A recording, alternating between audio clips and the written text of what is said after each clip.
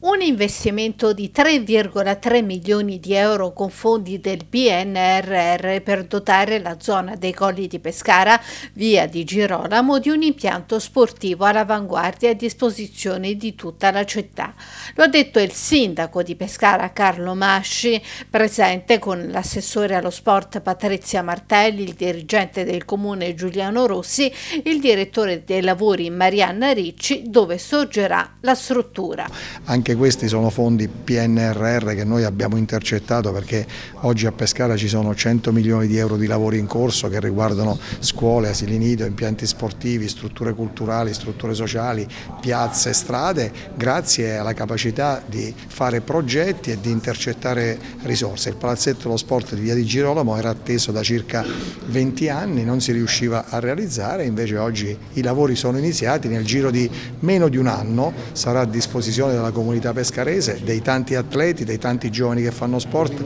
dei tanti anziani che comunque vogliono continuare a fare sport. Noi abbiamo circa 10.000 atleti a Pescara e tantissime associazioni sportive. In questi mesi abbiamo investito sugli impianti sportivi 8 milioni di euro, eh, tutti i palazzetti sono stati rigenerati, risanati, adesso ne stiamo realizzando un altro e in più tra qualche giorno consegneremo anche l'ex bolciodromo di Zanni che è stato trasformato in un altro palazzetto polivalente per attività attività di pallacanestro, palla, pallavolo e calcio a 5 perché Pescara è una città che vive di sport, che fa tanto sport, che ha tante persone che fanno sport e noi vogliamo mettere a disposizione della città questi impianti